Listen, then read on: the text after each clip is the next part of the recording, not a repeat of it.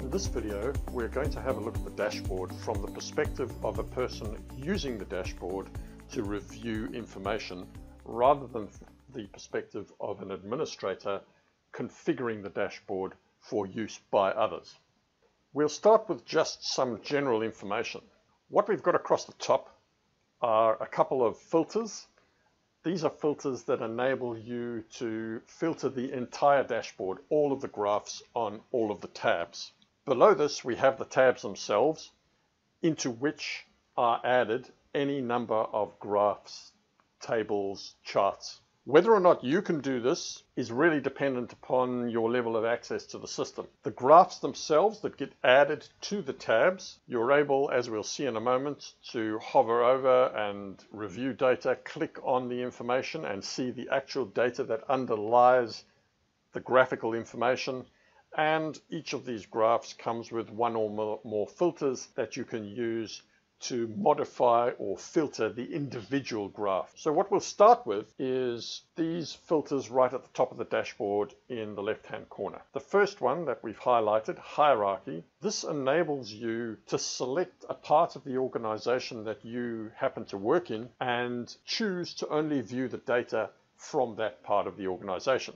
And you do this simply by clicking on the drop down arrow, scrolling through the list of hierarchy. You might be in a company that's made up of multiple companies, divisions, departments. And of course, this hierarchy will reflect whatever your company's hierarchy happens to be. We'll choose here the Mount Bryant site. What this now does is filters every graph in the dashboard by that filter. You can see what you're filtered on because the word site has now appeared next to the word hierarchy. This is really important. If you come into the dashboard and you see a limited amount of data, what you have to remember is that you could have previously filtered the dashboard by some value and that you're not seeing everything that is available to you. To reset the data, simply click on the drop down arrow and click on reset. Once reset, the default is supplied again and all of the information from the entire organization is visible. Now the same is true of the show records for option. It defaults to the last 12 months, but has a range of options in here. So if I were to select the previous month, what this is doing is now showing me information that was created within the last month. What you can also do is you can choose a random date range. So if, for example, we were to choose everything from the 1st of May, and instead of what we had previously, we now have the word custom showing next to the show records for. Once again, to remove this, you can click on clear filters. Now below the filters, we have a number of tabs. And in each of these tabs, we have different graphs, charts, tables. You may or may not be allowed, based on your access, to add or remove charts from these tabs. But as you can see, if we click on the different tabs, there are different charts and graphs in each. Now, if we have a look at the individual graphs and charts in a tab, what we'll notice is that for each of them, there is a filter and an export option. So what I can do with this particular graph is I can filter it by the default filters that come with this graph. And in this instance, action type and status are available. So if I click on the upturned arrow, what I can see now is a list of options, and I might not be interested in closed actions. I'm really only interested in the open and overdue action. So if I save that set of filters, what happens is the graph redisplays and shows me only filtered information. So now this filter is completely different to the filter that we saw earlier, the ones at the top, because while these operate across the entire dashboard, these in the individual graph only apply to the graph itself. If you look at the word filter, you can see next to it now there's a tick. This is the only way that you can tell that this graph has been filtered. So you need to be on the lookout to make sure that the dashboard is not showing you less information than you want it to, simply because you have filtered the information for some purpose in the past and then forgotten to unfilter it. If we go back and clear that filter, click on reset and then on save, we can see that the filter icon has changed to the default setting. And each graph will have its own different filters. The other thing that graphs have is an export option. Now what you'll notice if we scroll to the top is that there is an export option at the top as well. And these two do very different things. And the best way to illustrate this is by looking at a table. A table is very, very similar to a view that we've been introduced to in previous videos. And as such, it contains most of the functionality that views contain. You're able to drag columns around. You can filter columns. You can set date ranges in the, in the table. And what's more, you can click on the link in any of these columns and open the document that underlies the table that you're looking at.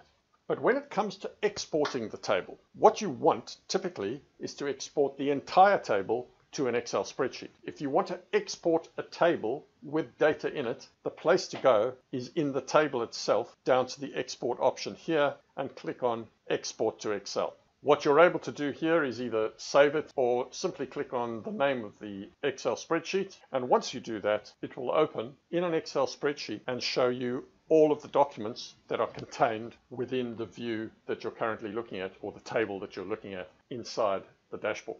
Now the last two items that I want to cover in this video are over on the right hand side, the link and report option. As I mentioned before, you may or may not have these, but it's more likely to be a user option than it is to be an administrative option. The first one is link. If we happen to be inside a particular tab, let's say the month end tab, end of month global reports, and we want to send a link to somebody to show them what the end of month global reports look like, we can click on the link tab. We can choose the target tab, end of month global report. We can set the date range, maybe the previous year. And we can choose a hierarchy if we need to. So you can show them the global report for a particular part of the business. And then what you can do is you can copy the URL that appears in this field. Once you've copied it, you can paste that into an email, send that to somebody, and that person will then click on the link and see the information that you have set up in this link option. The last item is the reports. What you might want to do on an ongoing basis is send notifications out to people to say, here's the latest information from the dashboard for your part of the business. And you want to send that monthly, weekly, annually. If you click on reports and click new report, what we can do is give this report a name, type in the subject, type in the email, choose the tab that you want, maybe the end of month global report, choose the date range, previous year, again, choose the hierarchy, select the scheduled running times, so I want to send this out annually, and choose, in this case, when I want to send it out. So possibly July the 4th,